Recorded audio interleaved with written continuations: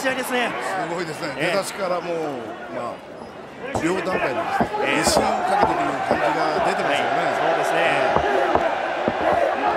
このジェイソン・サンダーライガーはノアのジュニアを潰しに来たと言っています。そしてそのパートナーに選んだのはキャリア2年4ヶ月の井上航。さあライガーが飛ぶ。膝。ヒップドロップ。そして今度は井上航が再び場外か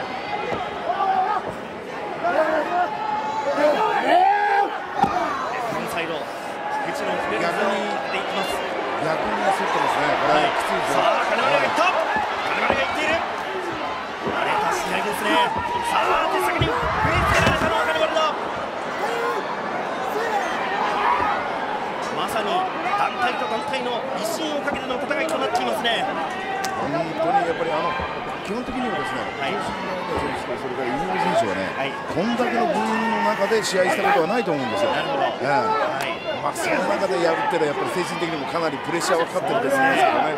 ノアのホームと言っている日本武道館にこの2人が入ってきました。しかしその2人は言いますこのノアの日本武道館を新日本の色に染めるんだと言っています。さあ張り手を打っていく。しかし菊池が止めた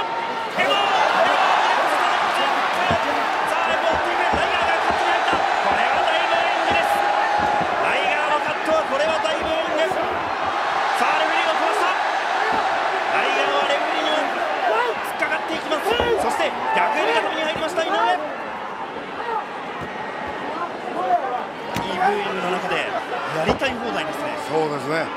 まあ、あの他団体のやっぱりリングに上がるからにはですね、はいそれだけのやっぱり決意もあると思いますし、ええまあこれはこれでやっぱりいいことだと思います。よ。なるほどえね、さあ逆指固めガッシーと決めて金丸が勝ったさあそして金丸に行きます。井上が金丸に行った金丸が後ろから行く。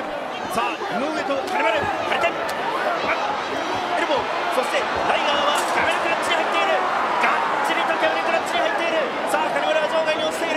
カットに行けるかさあ完全に決まってますねいや、このキャメルクラッチこれはきついですね。ええ高校時代からこのライガーのことは知っていたという菊池剛その菊池剛がライガーの手を取り噛んでいる噛んでいるそして勝手に入ったそしてエルボーを振ったしかし井上がエルボーに行きます試合の序盤はこれはもう新日本のこの2人のペースいいですか？そうですね。まああの菊池選手結構あのきつい攻撃をよく忍んでるという形ですよね。ねえ。さあ日本武道館は大菊池コールが起きています。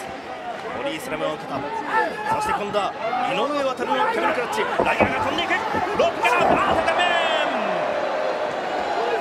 しかし菊池の顔を生きている目は生きているさあ菊池が睨みつけます井上航の厳しい厳しいキャメルクラッチを受けていてもその目は死んでいませんさあ今度はストンピングに行きました井上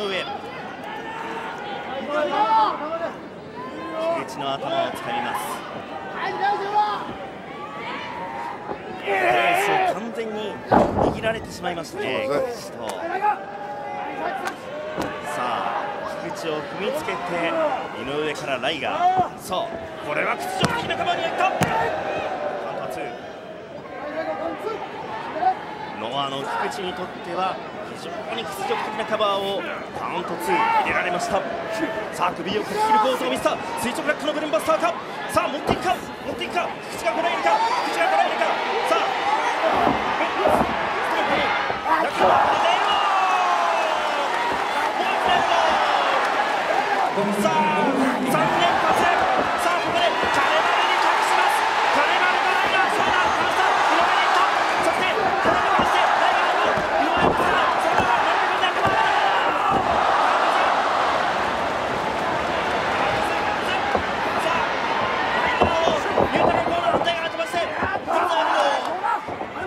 Yeah!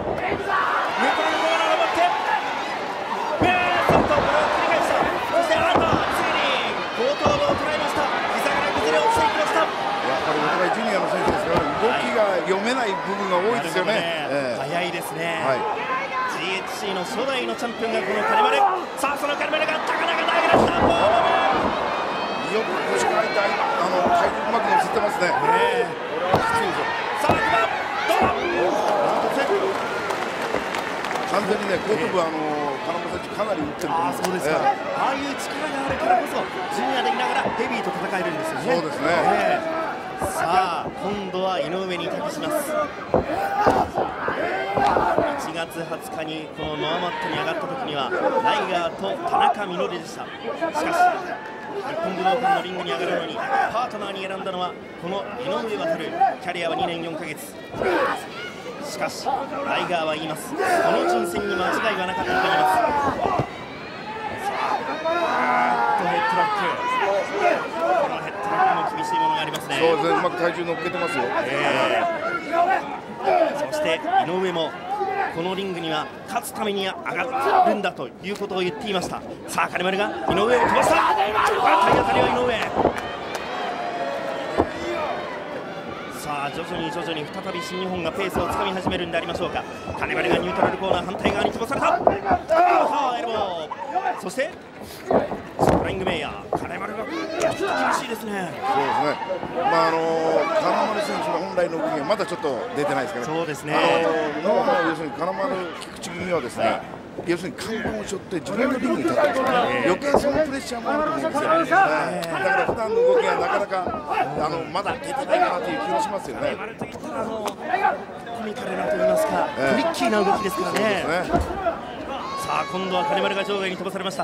場外でライガーが持ち上げた。これはきついこれは厳しい厳しい厳しい。しかしライガーがパー場外でドカーという音そして今度はニーロックラ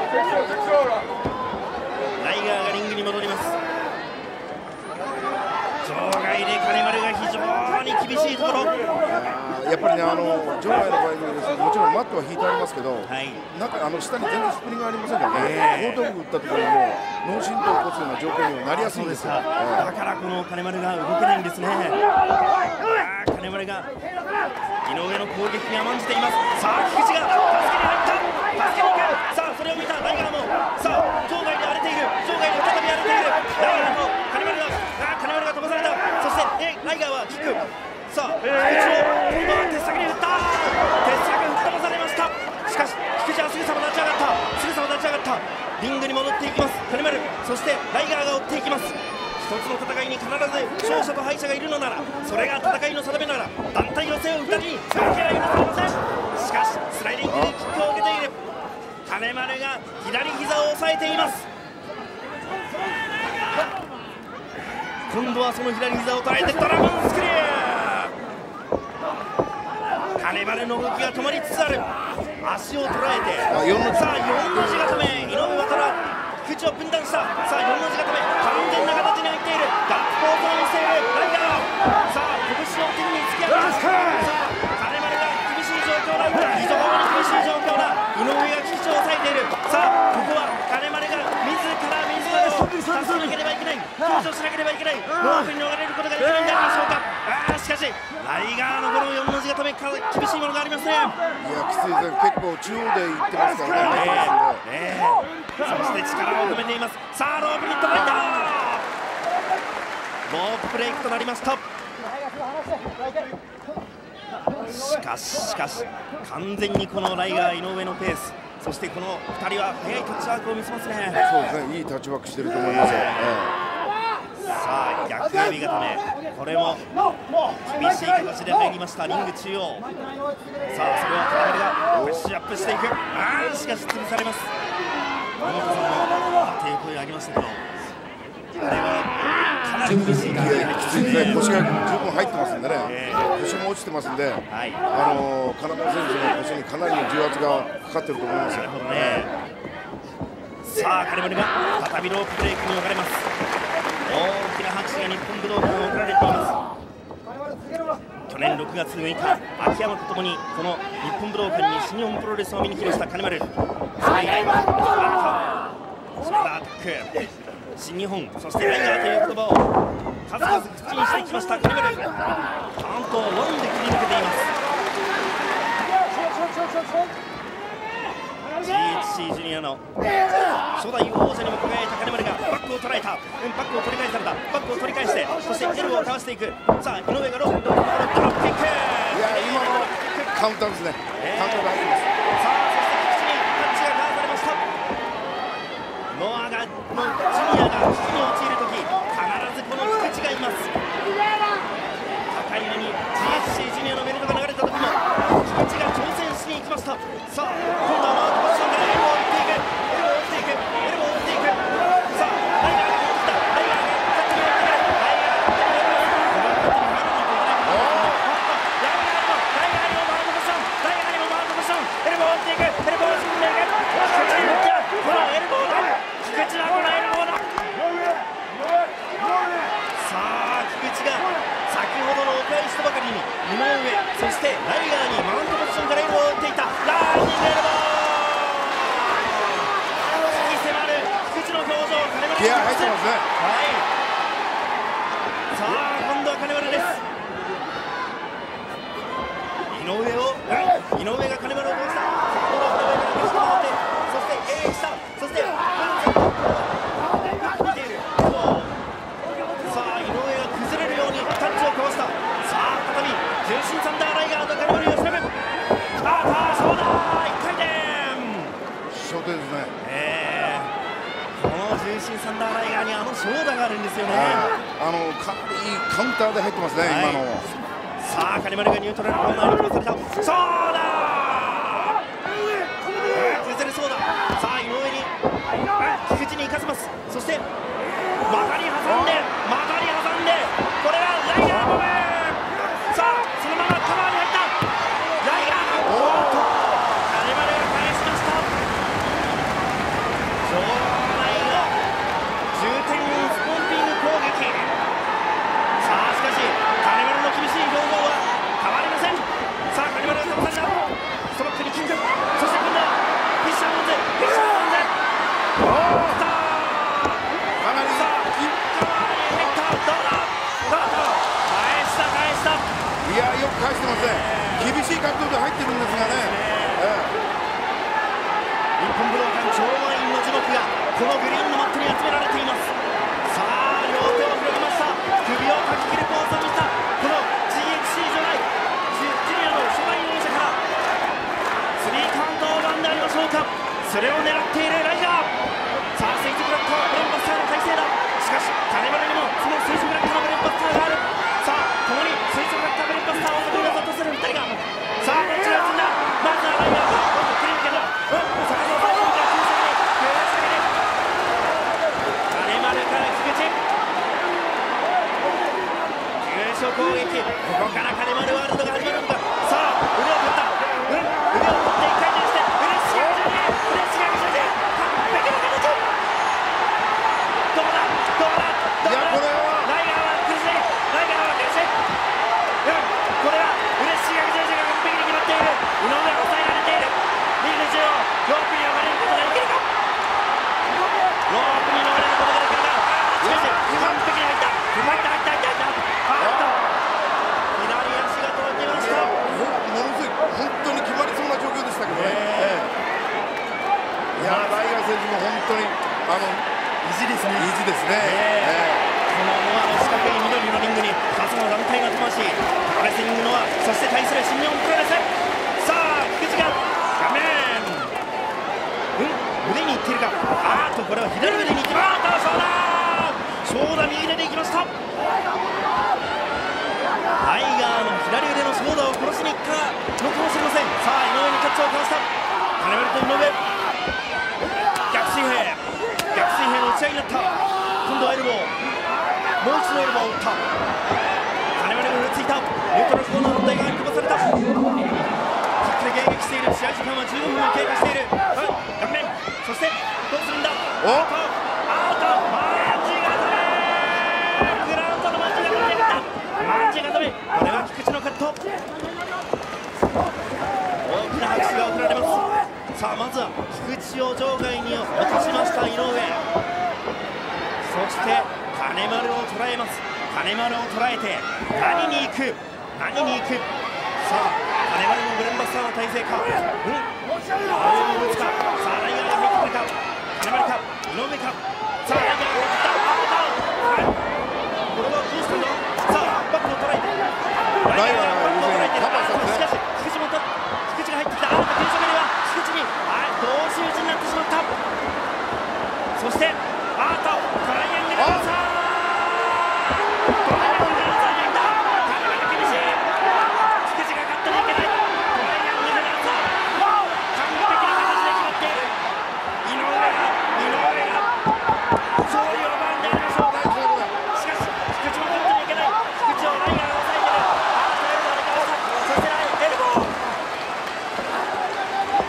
金丸の危機を救いました菊池さあ菊池が場外に落とされますしかしこちらのすぐさまリングの中に入ってきた井上は気づいていない井上から気づいていない背中にエルボーを打ったそしてバックを捉えてバックを捉えて決まったままそして金丸ボディープレスカバーライガーのバックが間に合いました日本武道館ワンツーの大合唱がありましたがカウンターをついてそしてライガーが落とされたそしてボディスラムさあ金丸がニュートラルコーナーメールカードカードカードカードツーカードツーいやー厳しい試合ですねそしてもう一度カードバルバルだカードどうだカードツーこれもカウンターツー動きが速くなったさあ今度は捉えたカバーどうだおっとこれもカウントツー菊池とライガーは共に抑え合っているラリット。そして今度は垂直落下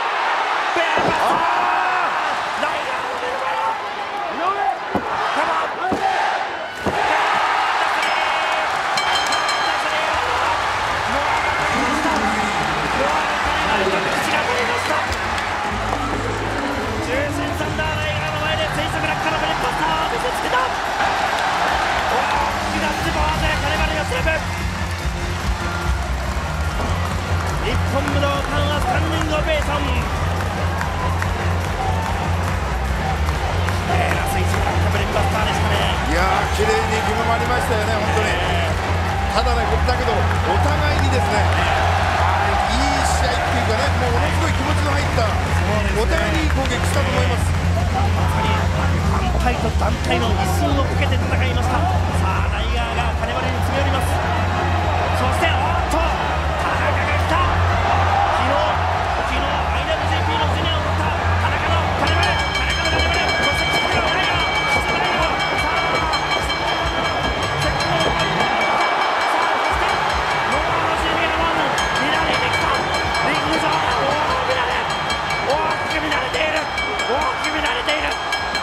い激しい戦いになった。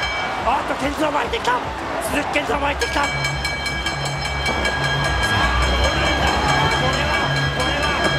あど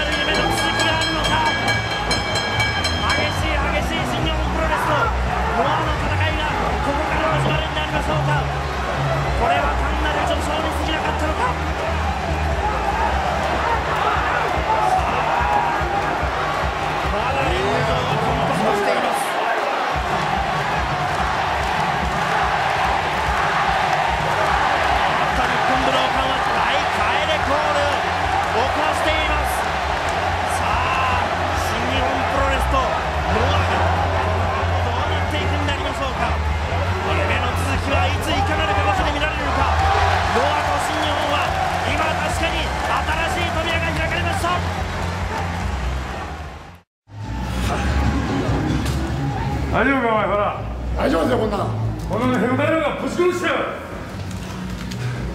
さん、これでノア・ジュニアと初めて接触したんですが、この試合、戦ってみてどうでした？試合もクソあるかお前。